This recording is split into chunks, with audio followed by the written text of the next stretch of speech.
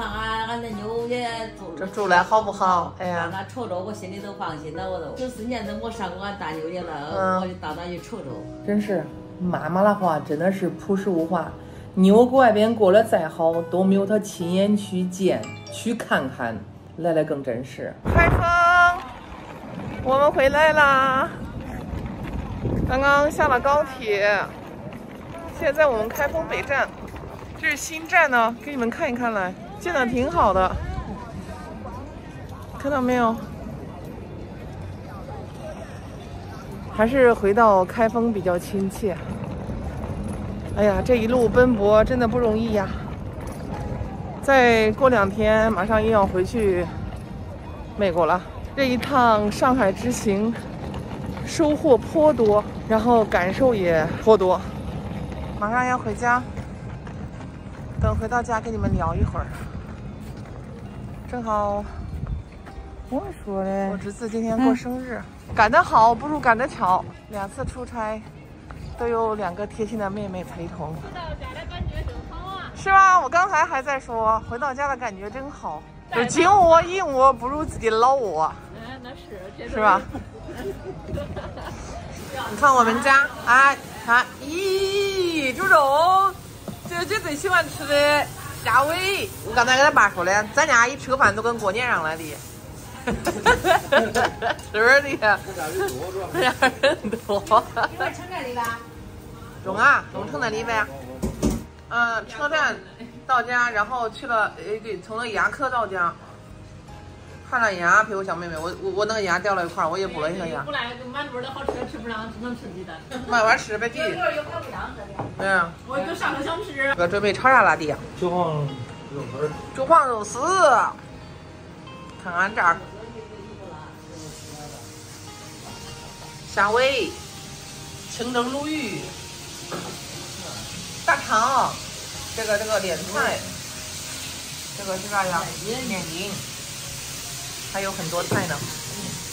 看看妈妈今天烫的头发，好漂亮啊，妈妈，好看我就叫他给我烫过，啊！烫过烫我看她烫的怪好看。咱妈可讲究啊，年轻的时候都是烫头。嗯开始吧，看看俺的一大家子十口人，俺弟弟、俺弟妹炒了一大桌菜，给你们先欣赏欣赏看看。啊，管咱家吃饭，小全部是俺自己做了呀，都这一个烤鸭一是买的。百多一桌，一百多一桌。对，这是家宴一百多一桌，是不是？这才叫家宴。这这一个大桌子，十个凳子，看好坐满，是不是？嗯，刚好十个人。哎，刚好十个人，你看看，吃吧呢，开吃吧。咦，看见毛丫丫给我煎的烤鸭，谢谢各位。大姑妈说话都说不成了，嘴打麻药只能这一半儿，我感觉这一半儿有感觉。包这么大，你照着对呀、你看规规矩矩的给哦，出肉包都好，好了，我必须得吃完。谢谢宝宝。昨天晚上吃完饭太晚了，可能因为回来也有点太累，结果吃完饭我也在沙发上睡着了。醒来的时候都十二点了，然后洗洗又赶快睡。明天是二十九号，在家的最后一天，心情啊有些激动。昨天晚上又跟宝宝妞视频了一下，我说带姥姥姥爷要回去啦，然后可开心了。妈妈要回来啦，还给我展示圣诞节她收到的礼物。哎呀，这一个月过得多快！然后这一趟上海之行啊，也收获不小。回来这一个月啊，安贤一直处在很紧张的状态。回来第一呢是接我父母回去美国，重要的一点呢，还有就是为了去学习。大家都知道，目前这个短视频时代也是宣传品牌的最大的一个力量。线上线下结合呢，也是必不可少的。所以这次回来去了一趟杭州，去了一趟上海，都不停在学习。学习人家是怎么把品牌和直播联合到一起的，因为我们总是要与时俱进，对不对？在这个网络发达的时代，想把品牌做好，第一是口碑，其次就是要有流量。杭州之旅、上海之旅，真的学到了很多东西。关键是有两个妹妹陪同一起去啊，也是安贤特别欣慰的。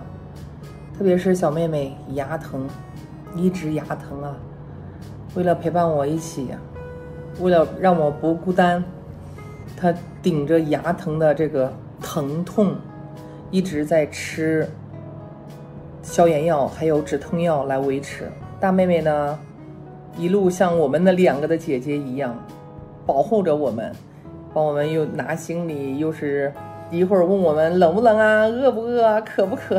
我说我们俩应该换一换，她应该做姐姐，我应该做妹妹。所以安贤很欣慰，有两个妹妹，真的啊，小妮儿。嗯，如果有赖生，咱还做姐妹啊？嗯，必须的。嗯，必须的。嗯，我的牙齿也掉了一小点儿，因为那个时候生完宝宝妞，呃，去看牙医嘛，后来检查有一颗蛀牙，他就把那个蛀牙给挖出来补了一点儿，结果这好几年了哈，不知道为啥就掉了，在上海高铁站掉的。忽然间就感觉嘴巴里有个有个东西硬的，我说这是怎么会有个石子啊？一吐出来是一小块牙齿，它补的那一块给掉了。这昨天带小妹妹，我们不是一下高铁之后到开封的那个牙科看了牙之后，然后我也在那儿补了牙，打了麻药，整个这个嘴这个一半啊都没有知觉，还好我没事，现在已经没事了。他说了，麻药一般三个小时都都都恢复正常了。哎呀，要回去了，朋友们，再见面就等到明年了。爸爸也很期待去美国，到底是什么样一个一个样子。妈妈也期待，妈妈给点儿来来？到那个看看看看上俺大舅家看看，啊，看那个地儿，嗯，呃，看那个环境啥样？呃环境好不好？看俺俺那妞也住这住来好不好？哎呀让，他瞅瞅，我心里都放心了，我都。嗯，瞅瞅俺妈就是担心，这十来年了，终于去，俺十四年都没上过俺大牛家嗯了，我就到那去瞅瞅。我的心愿是想到俺大牛家到到到那瞅瞅。哎呀，这是俺妈妈一生的心愿。这过得再好，就到我估计我到那瞅瞅。哎，听见妈说吗？过得再好都不如她亲眼见的好。真是，妈妈的话真的是朴实无华。妞搁外边过得再好，都没有她亲眼去见、去看看来的更真实。这是她的这十几年的心愿。所以当妞呢也可开心，给妈妈完成个心愿，也给自己完成个心愿。想想上次暑假回来的时候，再想想这次又回来一个月了，你看看，多快呀！